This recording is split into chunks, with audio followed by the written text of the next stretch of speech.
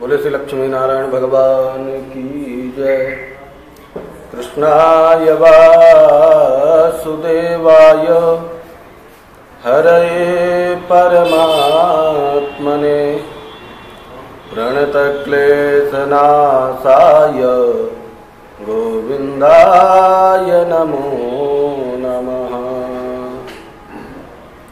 आप सभी भक्तों को Sankat Mochan Mandir, Siddharth extension pocket C B के मध्य में है।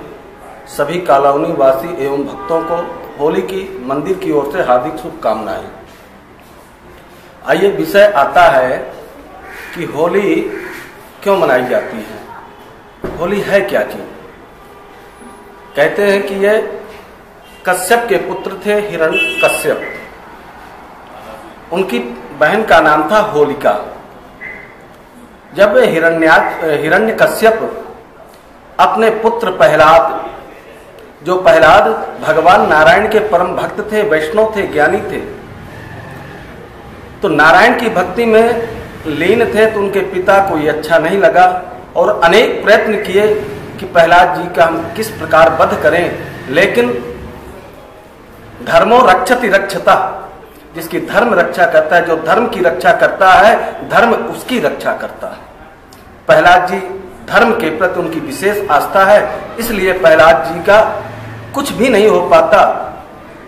जा पर कृपा राम की होई ता पर कृपा करही सब कोई। भागवत में आया है कि यस्य प्रसन्नो भगवान गुण मैत्र्यादिभिर हरि तस्मय नमंति भूतानी, निम्न माप स्वयं। जिस पर कृपा साक्षात नारायण भगवान की होती है उसको पृथ्वी लोक के प्राणी चाहे जितना भी कष्ट देना चाहे लेकिन जिसका रक्षक भगवान है उसका बाल बांका भी नहीं होता। इसी प्रकार जब प्रहलाद जी बा, हर बार बच गए सांपों से डसवाया पर्वत से गिरवाया विष दिया लेकिन उनको कुछ भी नहीं हुआ क्योंकि वो भगवान नाम का सहारा लिए थे। तब होलिका उनकी बहन बुआ जी आई प्रहलाद जी की हिरण्य कश्यप की बहन बोली, भैया, आप चिंता मत करो। मुझे ब्रह्मा जी के द्वारा प्रदान है शीतल छाया वरदान में प्राप्त हुई शीतल चादर। मैं उसको लेकर उड़ करके बैठ जाऊँगी। आप मेरे चारों तरफ़ अग्नि लगा देना। प्रहलाद जी भस्म हो जाएँगे। मैं बच जाऊँगी और आपका कार्य हो जाएगा।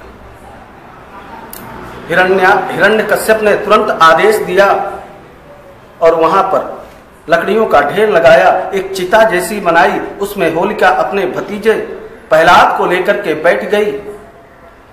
जैसे ही उसमें अग्नि लगी तो वह शीतल छाया वायुदेव के प्रभाव से और प्रहलाद जी के सिर पर आ गई।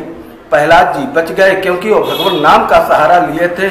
नाम संकीर्तनम यश सर्व पाप प्रणाशनम कहते हैं, जो भगवान का नाम संकीर्तन करता है, भगवान के नाम के अधीन रहता है भगवान उस अपने भक्त की स्वयं रक्षा करते हैं और होलिका जलने लगी। अब तो होलिका ज़ोर ज़ोर से चिल्ला रही थी कि, हे ब्रह्मदेव, आपने मेरे साथ सही नहीं किया, मैं जल रही हूँ।